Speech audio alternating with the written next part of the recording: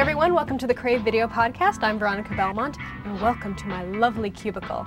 Anyway, on the Crave blog, we cover a lot of stuff that's really cool and interesting. Say, for example, this t-shirt from flashwear.com. Now this is really cool. You would wear it to a club or a rave and the, the music would show up on this meter here, which is all well and good. But what about the practical aspect? What if you wore this shirt to work?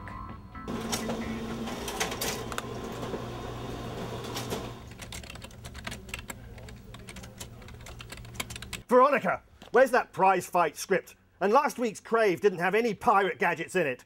You need to step up. And where's my James Blunt CD?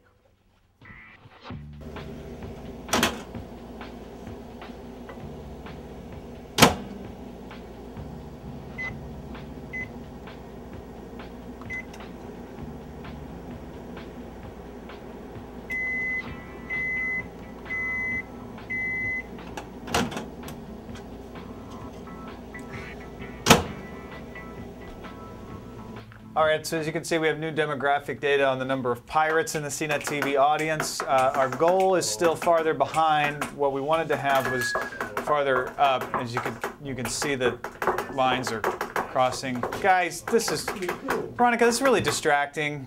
Could you have to wear that shirt?